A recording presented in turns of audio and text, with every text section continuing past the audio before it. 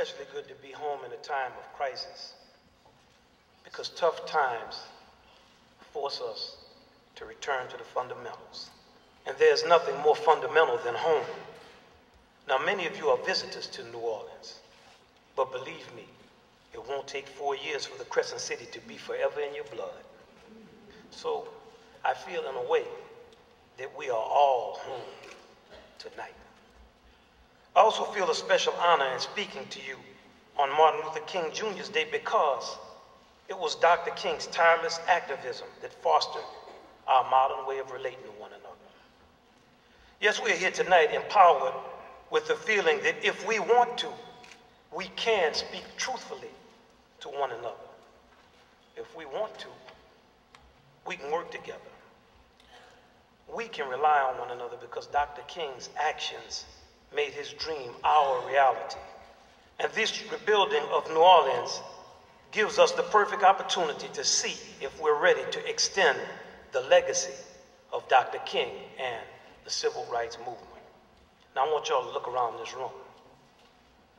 I'd always take the time to look and see where you are and understand the moment that you're in. I want y'all to realize, all you young people, that the final chapter of that movement still waits for a generation with the courage to write it. That's why I say we are all home tonight. We are all home because Dr. King led the charge to victory over regressive, ignorant traditions that had long gone unchallenged. Because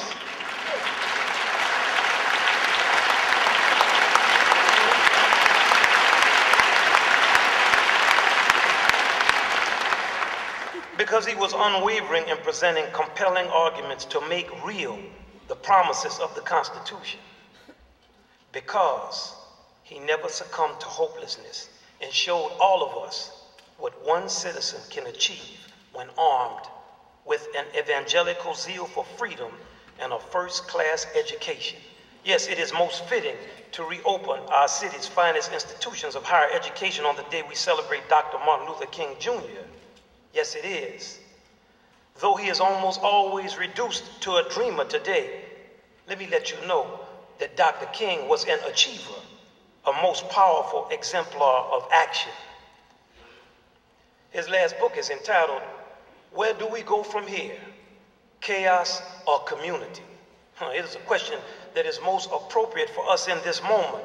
You see, there are shadows of chaos all around us. Dr. King worked in the shadow of slavery and discrimination. We are in the shadow of the worst natural disaster to ever befall America. What better way to celebrate him than by rising to a challenge?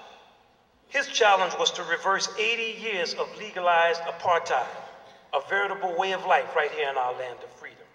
Our challenge is merely to rebuild a great city in times of unbelievable political callousness and corruption. Even in these times,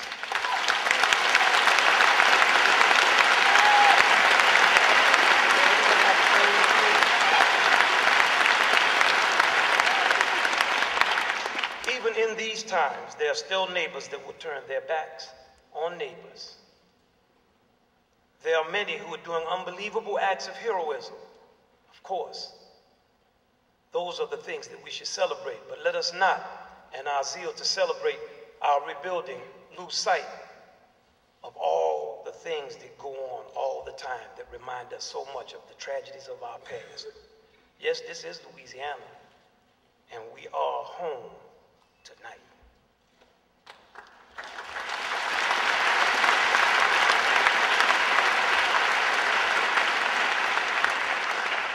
I want y'all to understand about Dr. King. Through a tireless, single minded campaign to expose lies and sanctioned injustice, Dr. King never lost faith in the ability of humans to behave better. He didn't settle, he succeeded. Now, certainly, his single mindedness is what is required of us at this time to rebuild New Orleans. Don't settle, succeed. Catchy slogans aside. When we look around here, we see destruction, anguish, and uncertainty. Let's look deeper into ourselves and find possibility. That's why it's important to mark the reopening of New Orleans with the triumphant return of Tulane, Xavier, Loyola, and Dillard universities. Through first class education, a generation marches down the long, uncertain road of the future with confidence. And after all is said and done, education's purpose is to lead students to who they are, what they can be, and who they want to be. And the best way to be is to do. And when we passed on the best of what we do, that is quality education.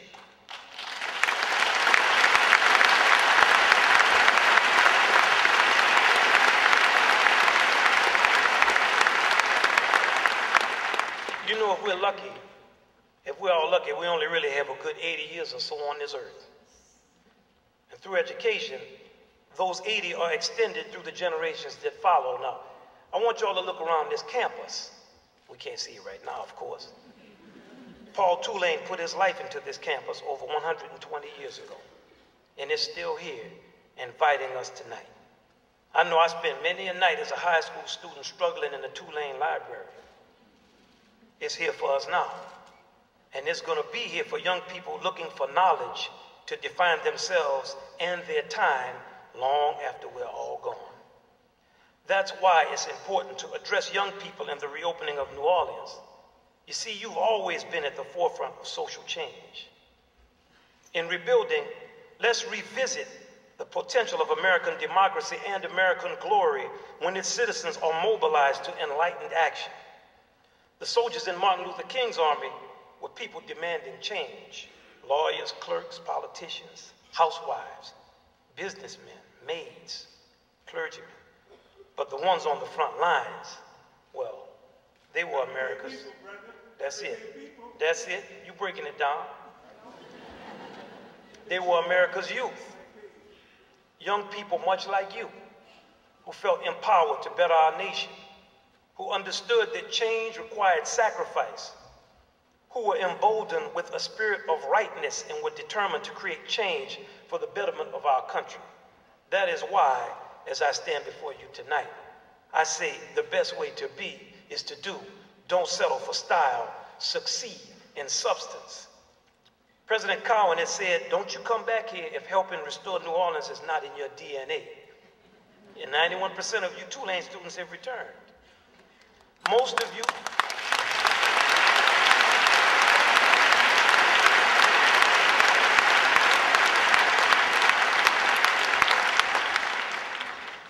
Most of you have returned at a time when many would have stayed away.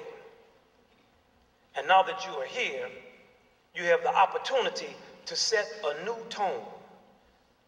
Not only a new tone for New Orleans, but believe it or not, a new tone for our nation. And if you are vocal enough and intelligent enough, a new tone for the entire world. Don't doubt yourself. Remember, only 56 men signed the Declaration of Independence, of which Ben Franklin said, We must all hang together, or assuredly we shall all hang separately.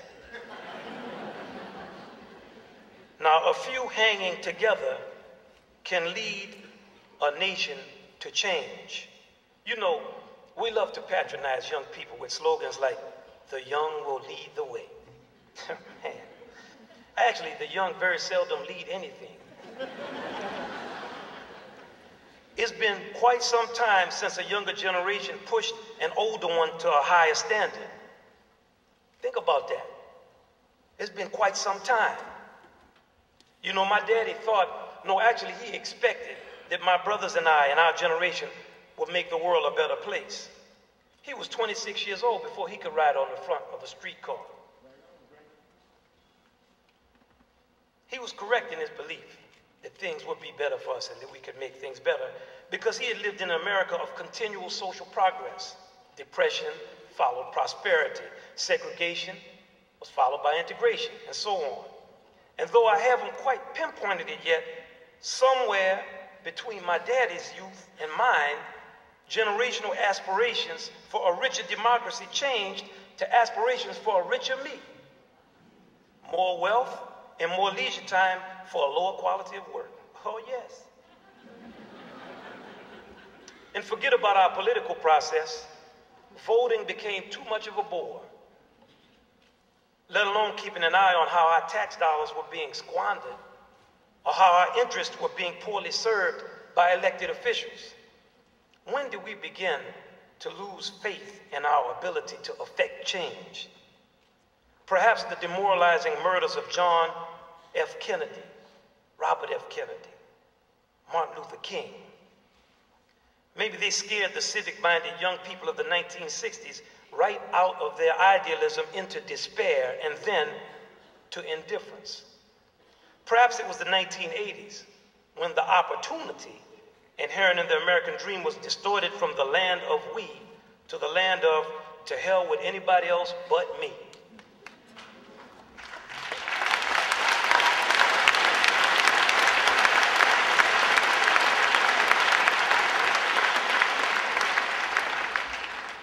Maybe the preoccupation with technological progress has overshadowed our concern with human progress.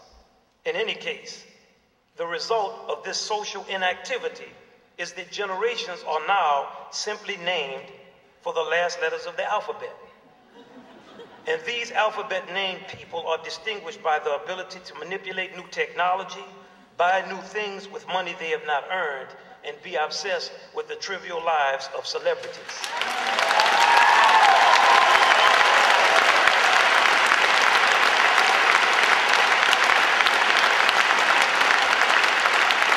We have the tendency to make generations unanimous. But in fact, there really have only ever been a few people in each generation who step out, who are willing to put themselves on the line and risk everything for their beliefs. Only a few act. The rest of us reap the benefits of their risk. You know, I always laugh when people my age complain about their college age and teenage kids by talking about how much better we were. Man, you know what I'm saying? I laugh because I have absolutely no idea what my generation did to enrich democracy. What movement have we been identified with that forced elders to keep their promises, that challenged their failures or built upon their successes? For me, we dropped the ball after the civil rights movement. Right on, we entered a period of complacency and closed our eyes to the very public corruption of our democracy. We've seen our money squandered and stolen, our civic rights trampled, and the politics of polarity become the order of the day. We have held absolutely no one accountable. From us, you all inherit an abiding helplessness.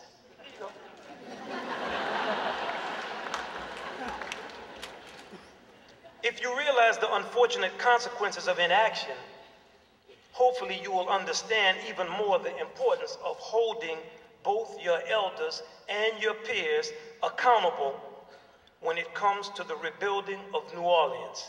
Stay up on the facts.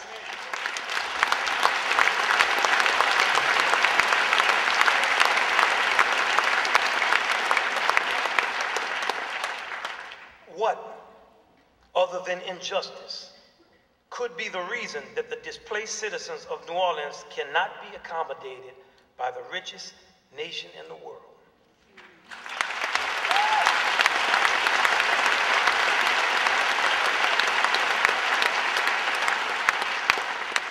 You, along with the entire world, saw the bureaucratic fumbling and lack of concern inflicted on those very same citizens at the Superdome and the Convention Center.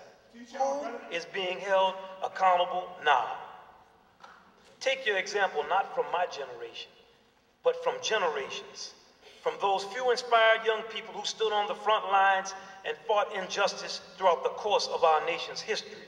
For example, in the first 20 years of the 1900s, youth supported the progressive movement to keep farmers from being shafted by big business, as well as movements for women's suffrage, workers' rights, the establishment of a League of Nations, and of course, keeping alcohol legal. the next 20 years would see the repeal of prohibition and young people pushing for the establishment of Social Security and unemployment insurance. Young people vowed to fight fascism with the Lincoln Brigades and also vowed not to fight old folks' wars by taking the Oxford Oath. The 1940s began with young people fighting the good war. The 50s saw young folks involved in tearing down the laws that supported segregation, challenging parental taste and authority with rock and roll, and questioning conformity with the beatniks. Man, I like you. I'm gonna have to hire you. I didn't know you was gonna be here. You know, I didn't, I didn't know you was gonna be here tonight. You should have brought some of your friends with you. We could have a service up in here. The 60s, that's right. What's wrong with that? The 60s and 70s saw youth challenging Vietnam, the role of women, rituals of courtship, race relations, and the political process itself. Today, we still reap the benefits of these generations' successes and suffer the losses of their failures. The rebuilding of New Orleans is an important point in the history of the United States. I don't want you to think it's not important because you're here. I, you know, okay, language, man, language. I don't want you to get too modern on us. Language. Should my generation expect yours to be the watchdogs of this effort? Should we expect you to monitor how our leaders handle the responsibility to restore our city? well, my generation might not, because we haven't been very good watchdogs ourselves. But I do. Believe me, I expect y'all to be different than the example we've set for you. Don't you wait for somebody else to do later what you can do now. When you perceive a problem, instead of speaking about it in dorm rooms or in hushed corners bars or even loudly in bars, put together a group of friends and be very loud and public in your dissent. When you notice inconsistencies between what is said by government officials and what is done, exercise your individual and collective power to take steps to remove them. Our form of democracy allows you to do that. Remember, the best way to be is to do.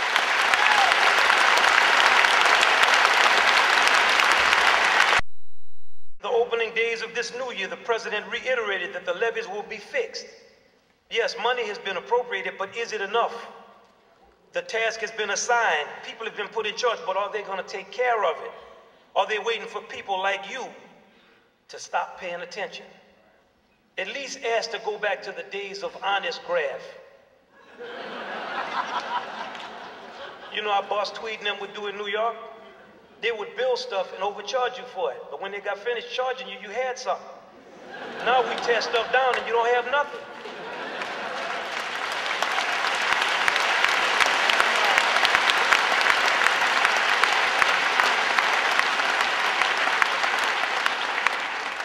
Now is the time for your generation to reclaim the energy, optimism, and fire that is the real American spirit.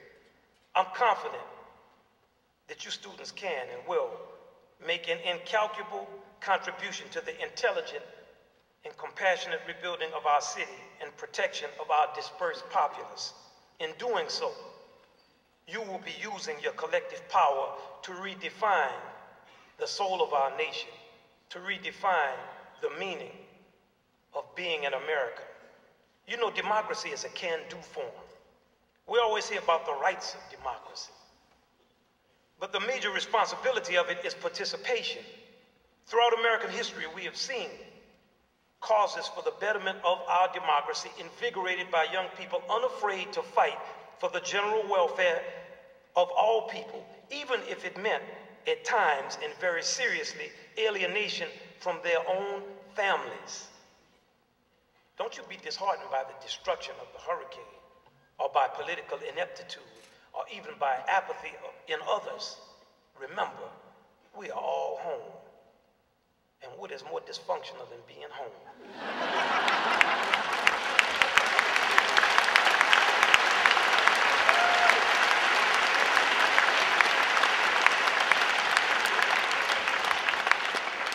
And that's why I urge you do not let this moment pass without sending a clear message to your peers and elders around the world. New Orleans will be rebuilt, and it will be rebuilt with an intensity, with an intelligence, with an impatience, and with a freshness that only serious minded young people can bring. One of the great lessons of the civil rights movement, when the minds and hearts of enough citizens are focused on change, America changes very quickly. I once asked my father, man, did you know in 1953 that you were going to not be riding on the back of a bus? In 1967, he said, no way in the world, man. No way in the world. Now, I know that the challenge of rebuilding may seem insurmountable, but we do have a roadmap to success the path of Dr. Martin Luther King Jr. Because he didn't settle for, that's just the way things are. We don't have to. Because he led an intelligent assault on all sorts of sanctioned corruption, we too can use our intelligence to protect and project integrity. Almost a foreign word in this time. Because he understood that all human beings are of one race long before the discovery of the DNA strain, we can now live that same reality. Because Dr. King walked with thunder. Because Dr. King would not be turned around. Because Dr. King was willing to ultimately pay the price of his life for us to not be chained to our legacy of, of slavery and ignorance because it wasn't that long ago. Because Dr. King stood on the front lines. Because he faced apathy from his own people. All sorts of Americans. Because the civil rights movement was not a black movement, but an American movement. Our history compels us to act definitively. Because we do not come from cowards and we are not cowardly. Because Dr. King was always about the business of making real the human grandeur outlined in the United States Constitution and the Bill of Rights. He let us know that it wasn't a joke or something to be taken lightly. Because he made those central documents real, we can still believe that our government can be of the people, by the people, and for the people. We need to concentrate our energies to that end. Now you will hear that the most immediate concerns for New Orleans are the wetlands, the levees, and the houses. But I'm here to tell you right here tonight that the most immediate concern for New Orleans is the well-being of our displaced neighbors spread out in a diaspora all over the United States of America.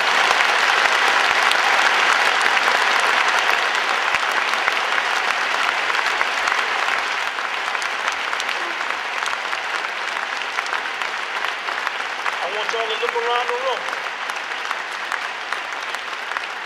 I want you I want you to look at people. I want you to understand. We come from a common experience. We come from a common experience. I've traveled the world. And the one thing I learned around the world, I am an American. Believe me, this is something that I know to be true and understand. I want y'all to look around this room and I want you to understand that there are forces all around you who wish to exploit divisions to rob you of your freedom and tell you what to think. They are afraid of change. And some of these forces are even within you. But I'm here to tell you tonight when young folks are motivated to action and when they act with insight, soul, and fire, they can rekindle the weary spirit of a slumbering nation. It's time somebody woke us up.